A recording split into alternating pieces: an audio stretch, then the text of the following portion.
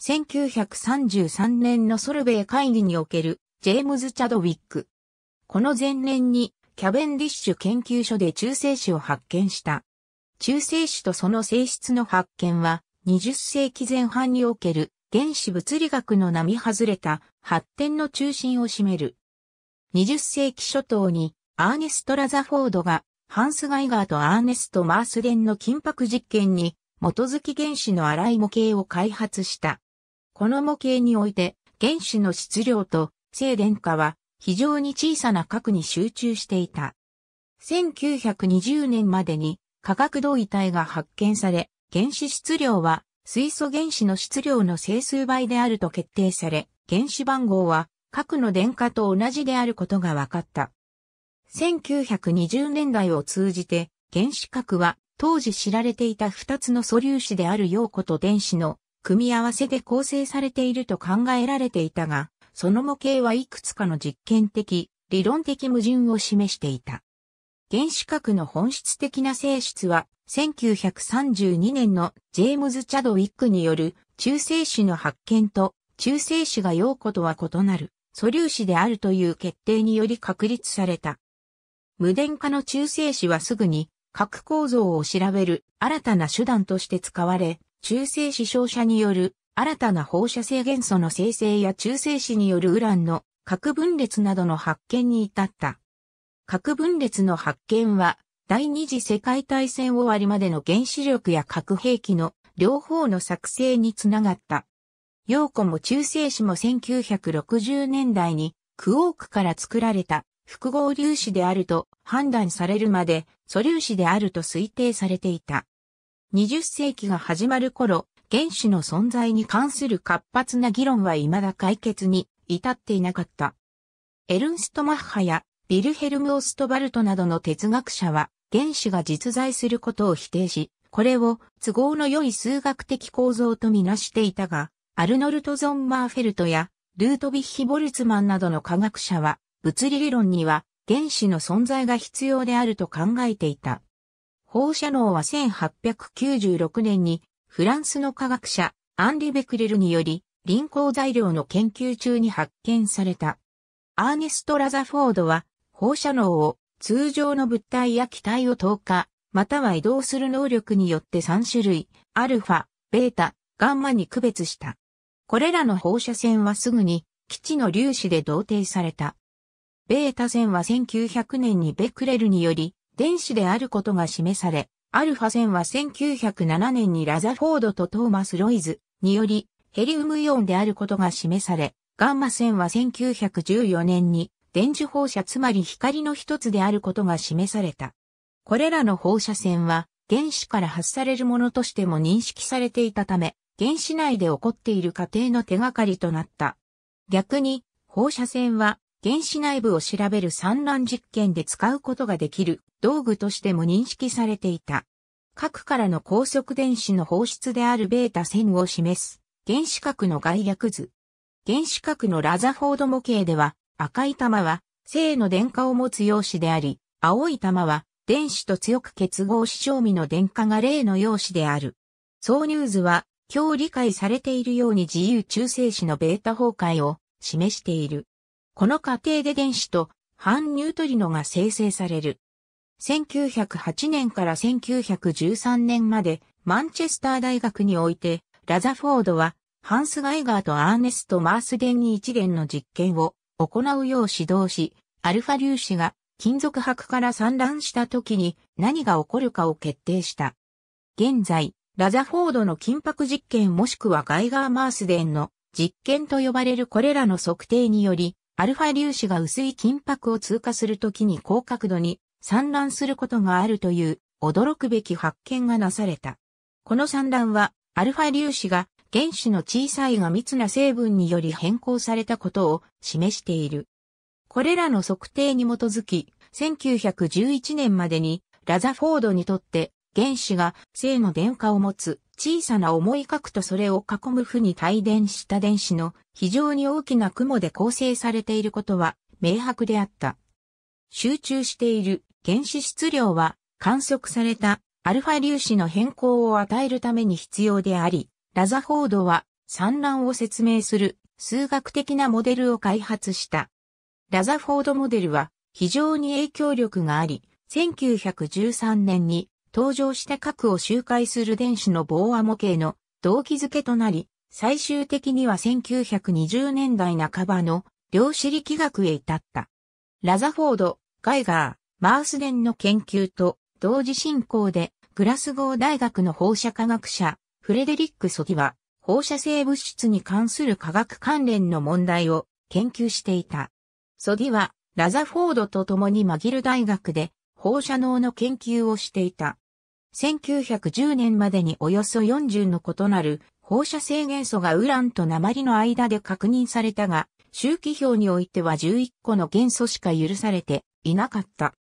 ソデイとコジミールジア・ホジェンスは1913年に独立にアルファ崩壊を受ける元素は周期表で2つ左の元素を生成し、ベータ崩壊を受ける元素は周期表で1つ右の元素を生成することを発見した。また、周期表の同じ場所にある放射性元素は科学的に同じである。ソデはこれらの科学的に同一の元素を同位体と呼んだ。放射能の研究と同位体の発見により、ソディは1921年にノーベル化学賞を受賞した。アストンの3番目の質量分析機のレプリカ電状と磁場による性に帯電した原子の変更に関する J.J. トムソンの研究からフランシス・アストンは1919年にキャベンディッシュ研究所で初の質量分析機を作った。簡単に達成することになるが、彼の目的はネオンの2つの同位体 20NE と 22NE を分離することであった。アストンはすべての粒子の質量が整数であることを発見した。つまり、すべての同位体の質量は水素原子の質量の自然数倍ということである。これらの測定ではアストンは恣意的に酸素16に対する質量を計算し、ぴったり16の質量とした。皮肉にもこの規則の一つの例外は水素自体であり、質量値は1.008であった。余剰の質量は小さかったが、実験の不確実性の範囲をずっと超えていた。アストンらはすぐに、この矛盾は原子の結合エネルギーによるもの、つまり単一原子に結合した多数の水素原子の質量は別々の水素原子の質量の合計よりも小さくなければならないことに気づいた。アストンは多数の非放射性元素の同位体の発見と整数規則の発表により1922年にノーベル化学賞を受賞した。1920年にアーサー・エディントンはアストンの核結合エネルギーの発見に注目し、星は水素をヘリウムに融合させることでエネルギーを獲得し、より重い元素が星の中に形成されることを提案した。ラザフォードらは原子質量単位で計算された原子の質量とラザフォード模型が機能するために核で必要とされるおおよその電荷との間に不一致があることに気づいていた。原子核に必要な電荷は通常その原子質量の半分であった。1911年、アントニヌス・バンデンブルークは、必要な電荷は元素の原子量の半分ではなく、元素の原子番号すなわち周期表での位置と正確に等しいと大胆な提案を行った。当時、周期表の元素の位置は類似の科学的性質を持つ特定の元素を並べるための方法を除き、物理的な意味を持つことは知られていなかった。マンチェスター大学で1913年にヘンリー・モーズリーは訪問中のボーアと新たなボーア模型について議論を行った。この模型は水素原子からの電磁放射スペクトルを説明し、モーズリーはコバルトやニッケルのような重い元素の電磁放射スペクトルは重量もしくは周期表での位置による順序に従うかどうかについて疑問に感じた。1913から1914年にモーズリーは X 線解説技術を使用し、実験的にこの疑問を検証した。彼は Kα 線として知られる特定の元素の X 線スペクトルで最も強い単波長線は周期表における元素の位置、つまり原子番号 Z に関連していることを発見した。実際にモーズリーはこの方法を導入した。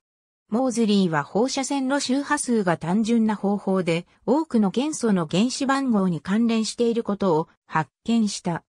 それから1年以内に今日、モーズリーの法則と呼ばれる方程式は1913年のボーア模型の検知から説明でき、他の元素の原子構造について合理的な追加の過程ができることに気づかれた。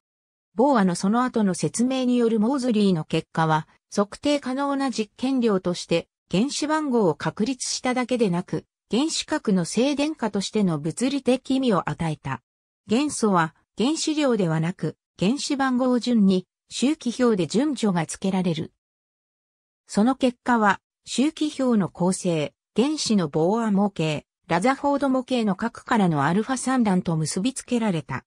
これはラザフォード、ボーアラにより原子核の性質を理解する上での重大な進歩として引用された。原子物理学のさらなる研究は第一次世界大戦の勃発により中断された。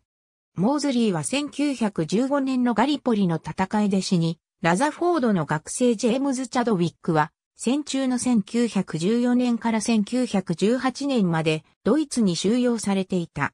ベルリンではリーゼ・マイトナーとオットー・ハーンの精密な化学分離によりラジウムとウランの放射性崩壊系列を決定する研究は中断された。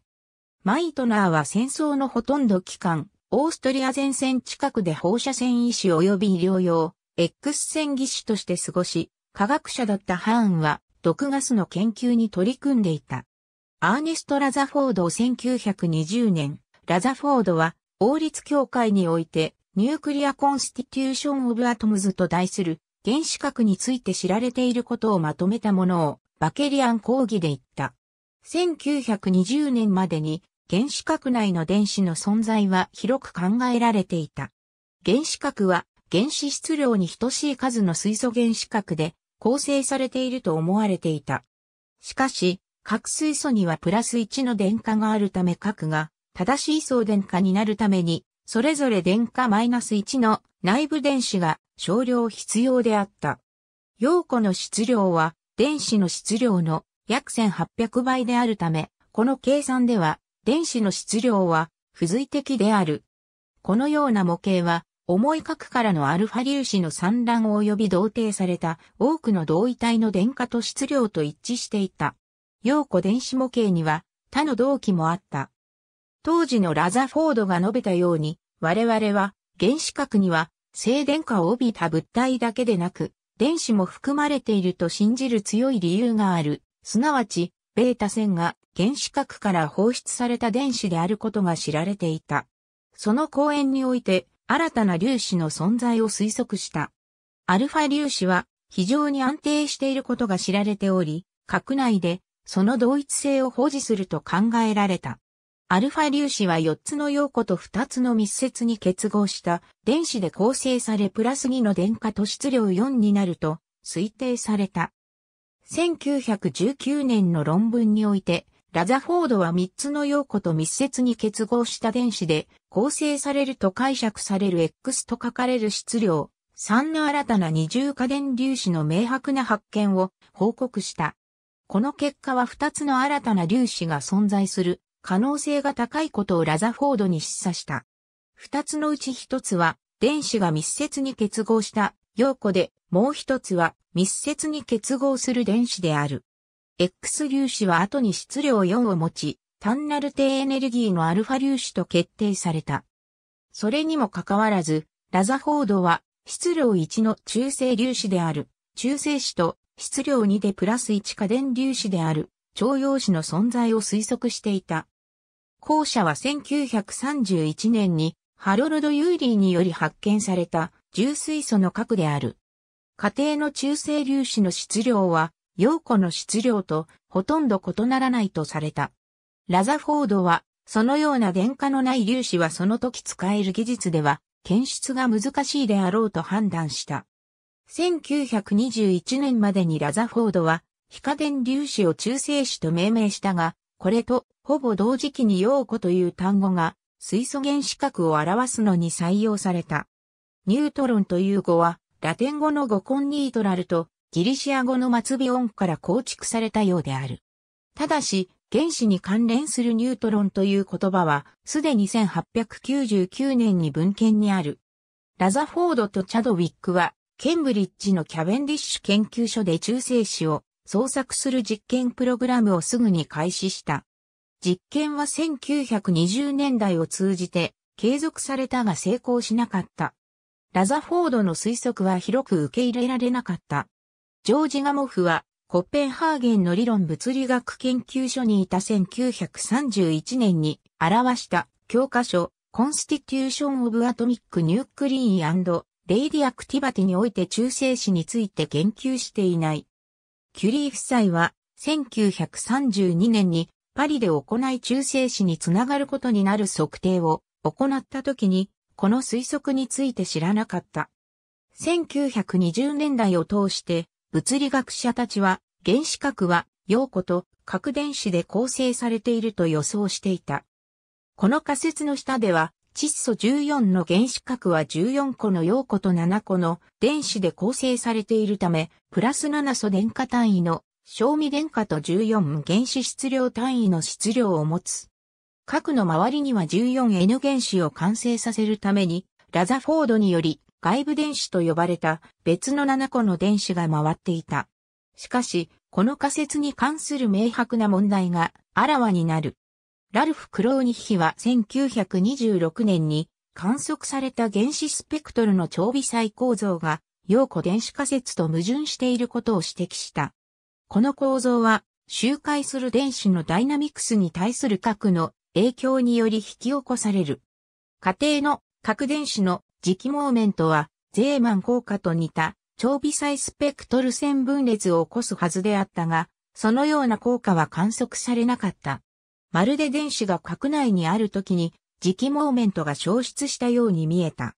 1929年のフランコ・ラゼッティによる分子のエネルギー順位の観測は、陽子電子仮説から予想される核スピンと一致しなかった。日素の分子ラマン分光は、偶数の回転順位から生じる繊維が、奇数順位からの繊維よりも強いことを示したため、偶数順位が多く存在する。したがって、量子力学とパウリの排他原理によると14、N 原子核のスピンは、の整数倍である。しかし、陽子と電子は、両方ともの固有スピンを持ち、奇数個のスピンを配置して、の整数倍のスピンを与える方法はない。1928年に、オスカル・クラインにより発見されたクラインのパラドックスは、原子核内に閉じ込められた電子の概念に対して、さらなる量子力学的異論を提示した。ディラック方程式から導出された、この明確なパラドックスは、ポテンシャル障壁に近づく、高エネルギー電子が障壁を通過する可能性が高いことを示した。どうも電子は、ポテンシャル井戸により、原子核内に閉じ込めることができないようであった。このパラドックスが意味するところは、当時激しく議論された。1930年頃までは、原子核の陽子電子モデルを量子力学のハイゼンベルクの不確定性原理と調和させることは一般的に困難であると認識されていた。この関係、デルタ X デルタ P は原子核の大きさの領域に閉じ込められた電子の運動エネルギーの期待値は10 100メブであることを案に示している。このエネルギーは核から放出されたベータ粒子の観測されたエネルギーよりも大きい。期待される電子エネルギーは、アストンらにより、各子あたり9メブ未満であることが示された結合エネルギーよりも大きい。これらの考慮する点はすべて、電子が核に存在できないことを証明するものではなかったが、物理学者はその解釈に挑むことになった。ガモフは1931年の教科書でこれらの矛盾をすべて要約した。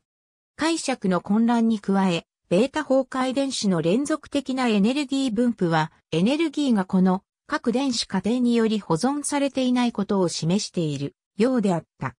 実際、ボーア、ガモフ、ハイゼンベルクらは、量子力学の法則が核内部で適用されない可能性を考慮した。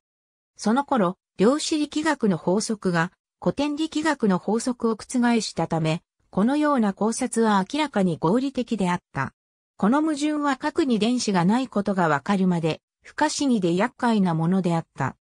1930年、ドイツのギーセンで、バルター・ボーテとハーバート・ベッカーは、ポロニウムから放出されたエネルギーを持つ、アルファ粒子が特定の軽元素、具体的には、ベリリウム、酵素、リチウムに当たると、異常に透過する放射線が生成されることを発見した。ベリリウムが最も強い放射線を生成した。ポロニウムは非常に放射性が高く、高エネルギーのアルファ線を生成し、当時の散乱実験で一般的に使われていた。アルファ線は過電粒子で構成されているため、電状の影響を受けることがある。しかし、観測された透過放射線は電状の影響を受けないため、ガンマ線であると考えられていた。この放射線は基地のガンマ線よりも透過性が高く、実験結果を細かに解釈することは困難であった。1932年に中性子を発見するために使われた実験の概略図。左ではポロニウム源を使用してベリリウムにアルファ粒子を照射し、非可電の放射線を誘起した。この放射線がパラフィンワックスに当たると陽子が放出された。陽子は小さな電離箱を用いて観測された。チャドウィックから解作。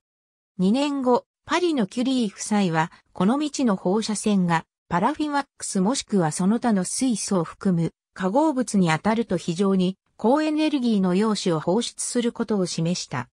この観測自体は、新しい放射線の想定されるガンマ線の性質と矛盾していなかったが、その解釈には論理的な問題があった。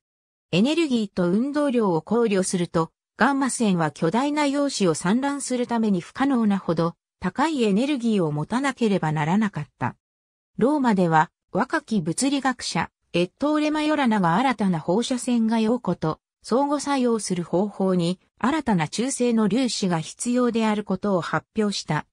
パリでの結果を聞いた時は、キャベンディッシュ研究所にいたラザフォードもジェームズ・チャドウィックもガンマ線仮説を信じていなかった。ノーマン・フェザーの助けを借りて、チャドウィックはすぐにガンマ線仮説が筋が通らないことを示す一連の実験を行った。その前年に、チャドウィック、JER コンスタブル、EC ポラードはすでにポロニウムからのアルファ線を使用して軽元素を崩壊させる実験を行っていた。彼らは放出された陽子を検出、数え上げ、記録するためのより正確で効率的な方法を開発した。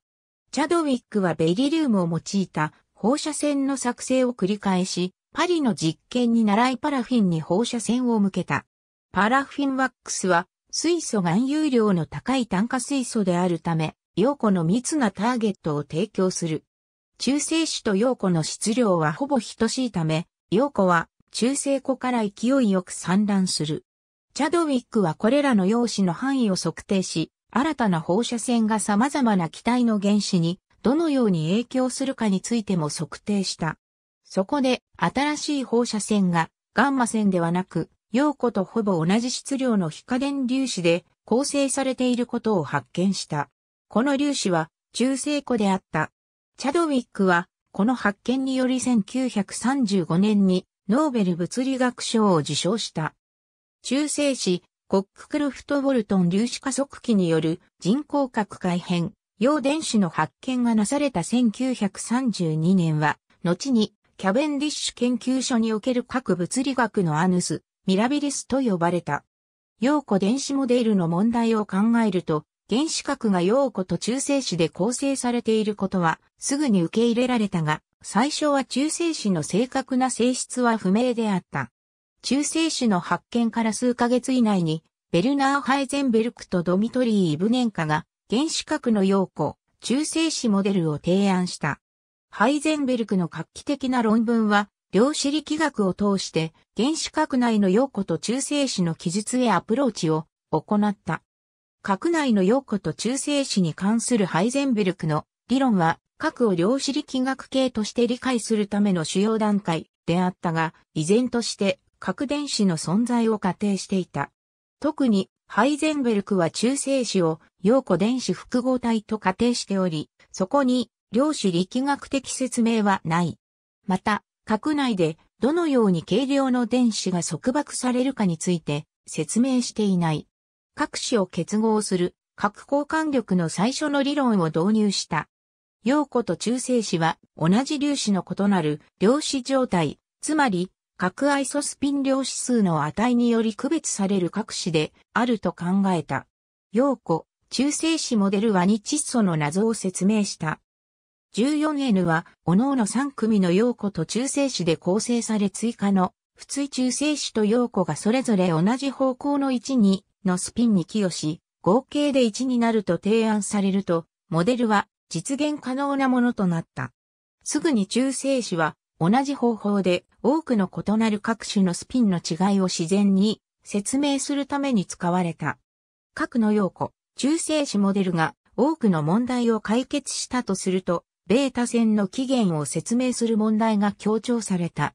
既存の理論では、電子や陽電子が核からどのように放出されるかを説明できなかった。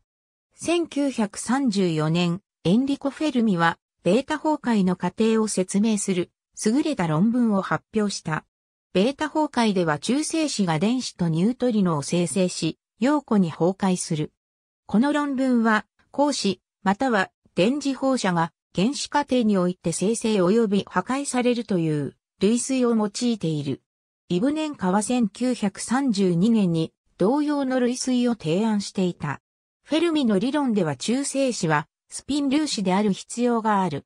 この理論はベータ粒子の連続的なエネルギー分布により疑問を投げかけられていたエネルギー保存則を維持した。フェルミにより提案されたベータ崩壊の基本理論は粒子がどのように生成され崩壊するかを示す最初のものであった。これにより弱い力、または強い力による粒子の相互作用に関する一般的な基本理論が確立された。この影響力のある論文は、時の試練に耐えたが、その中の考えは、非常に新しく1933年に初めて、ネイチャーに提出された際には、推論的すぎるとして拒絶されている。第7回、ソルベイ会議中性子が陽子と電子の複合粒子で、あるか否かの疑問は、発見後数年間続いた。例えば1932年にハリー・マッセイは、物質を通り抜ける強い透過力と、電気的中性を説明するために複合中性子のモデルを探求した。この問題は、素粒子は陽子と電子だけである1920年代からの一般的見解の遺産である。中性子の性質は1933年10月に開催された第7回ソルベイ会議の主要な議論のテーマであり、ここにはハンゼンベルク、ニールス・ボーア、リーゼ、マイトナー、アーネスト・ローレンス、フェルミ、チャドウィックらが出席した。1933年のチャドウィックによるバケリアンレクチャーで定義されたように主な問題は、陽子に対する中性子の質量であった。中性子の質量が陽子と電子の結合質量より小さい場合、中性子は結合エネルギーによる質量欠損のために陽子電子複合体である可能性がある。結合質量より大きい場合、陽子と同様に素粒子である。電子の質量は、陽子の質量のわずか0.05%であるため、この質問に答えるのはチャレンジングであった。したがって、非常に正確な測定が必要であった。測定が難しいことは、1932年から1934年に得られた中性子の質量の値が幅広いことからわかる。今日受け入れられている値は 1.00866U である。発見を報告したチャドウィックの1932年の論文では、中性子の質量を 1.005U と 1.008U の間にあると推定している。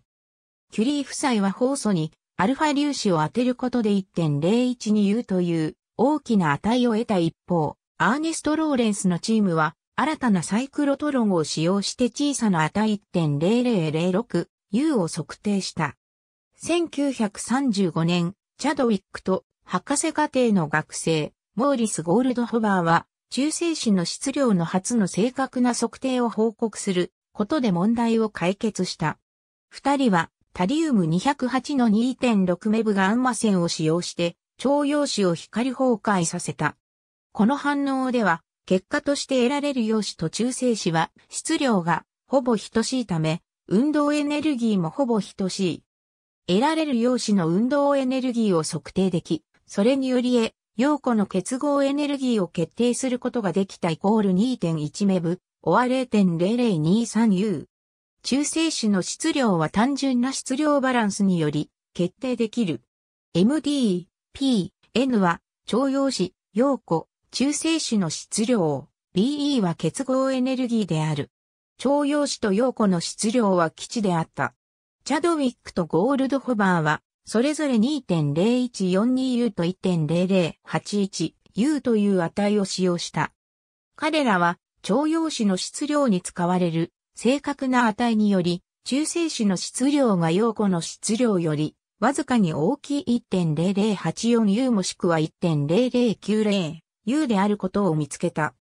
中性子の質量は、陽子電子複合体としては大きすぎるため、中性子は素粒子であることが確認された。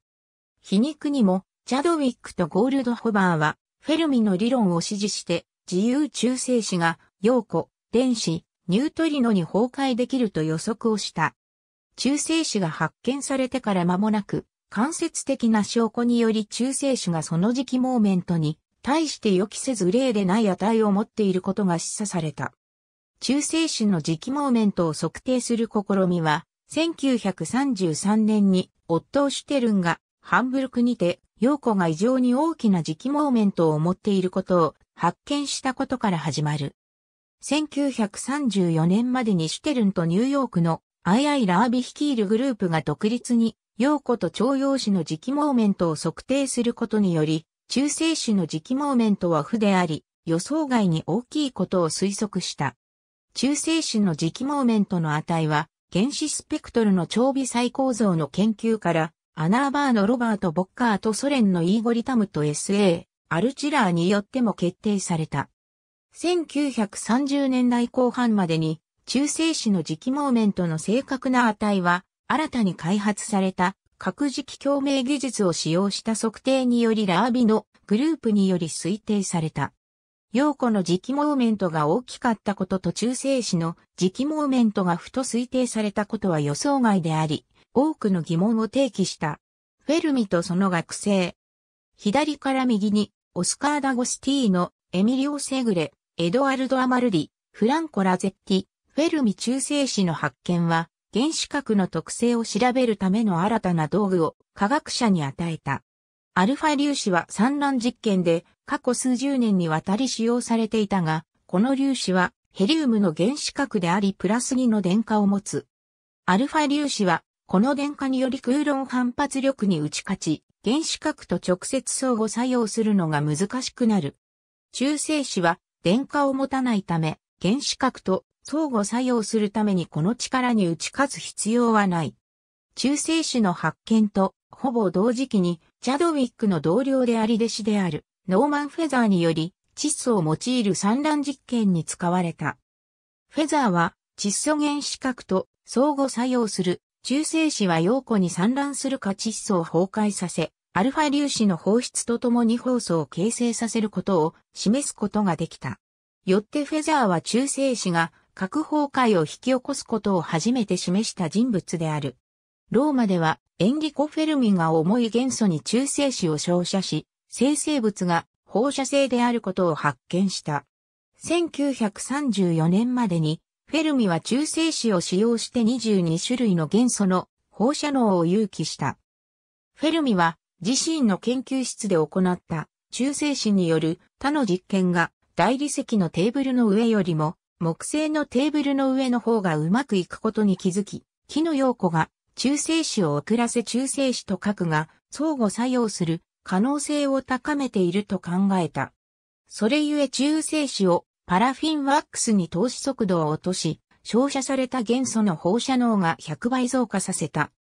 原子核との相互作用の断面積は、高速中性子よりも低速中性子の場合にはるかに大きくなる。1938年、フェルミは中性子照射により生成された新たな放射性元素の存在の実証、及び低速中性子により引き起こされる核反応の関連する発見でノーベル物理学賞を受賞した。リーゼマイトナーとオットーハンウラン235の中性子吸収により引き起こされる核分裂。重い核種はより軽い成分と追加の中性子に分裂する。ベルリンではリーゼマイトナーとオットーハーンがジョシュ・フリッツ・シュトラスマンと協力してフェルミと彼のチームが始めた研究をウランに中性子を照射することによりさらに進めた。1934年から1938年にかけて、ハーン、マイトナー、シュトラスマンはこれらの実験から多数の放射性変換性生物を発見したが、すべてを超ウラン元素とみなした。超ウラン各種は中性子吸収により形成されたウランより大きな原子番号を持つものであり、自然には発生しない。1938年7月、アンシュルスナーとマイトナーは、ナチスドイツでの反ユダヤの迫害から逃れざるを得なくなり、スウェーデンで新たな地位を確保することができた。1938年12月16から17日に行われた重大な実験は不可解な結果をもたらした。彼らがラジウムの3つの同位体と理解していたものは矛盾なくバリウムとして振る舞っていた。ラジウムとバリウムは同じ輩である。1939年1月まで、ハーンは超ウラン核種と考えていたものが、バリウム、ランタン、セリウム、軽い白金属元素などずっと軽い核種であると結論づけた。マイトナーとその甥、オットー・フリッシュは、これらの観察結果を核分裂から生じたものとすぐに正しく解釈した。ハーンと共同研究者は、中性子吸収により、不安定になったウラン核がより軽い元素に分裂することを検出した。マイトナーとフリッシュは各ウラン原子の核分裂が約200メブのエネルギーを放出することも示した。核分裂の発見は原子物理学者の世界的コミュニティと大衆に衝撃を与えた。核分裂に関する2番目の出版物で、ハーンとシュトラスマンは、核分裂過程の間の追加の中性子の存在と有利を予測した。フレデリック・ジョリオとそのチームは1939年3月にこの現象が連鎖反応であることを証明した。1945年、重い原子核の核分裂の発見で1944年のノーベル化学賞を受け取った。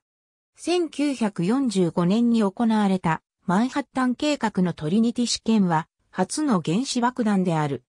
1938年の終わりに核分裂が発見されたことで、核研究の中心地がヨーロッパからアメリカへ移った。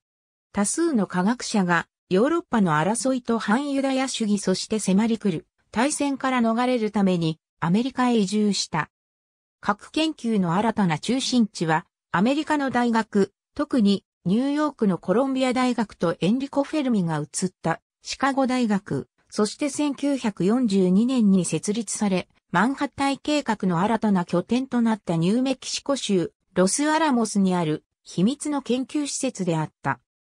この戦時中の計画は核兵器の作成に焦点を合わせ、中性子をもとにした連鎖反応によるウラン、またはプルトニウムの核分裂により放出される膨大なエネルギーを利用した。1932年の中性子と非電子の発見は多くの新たな粒子発見の始まりであった。ミュー粒子が1936年に発見された。パイ中間子と軽中間子が1947年に発見され、ラムダ粒子が1950年に発見された。1950年代60年代を通して、ハドロンと呼ばれる多くの粒子が発見された。マレー・ゲルマンとジョージ・ツワイクにより独立に1964年に提案されたすべての粒子を体系づける分類表はクォークモデルとして知られるようになる。このモデルでは、陽子や中性子などの粒子は素粒子ではなく、パートン約多くと呼ばれる他の真の素粒子を少数組み合わせたものにより構成されている。クォークモデルは1960年代後半に実験的検証を受け、最終的に中性子の異常時期モーメントを説明した。ありがとうございます。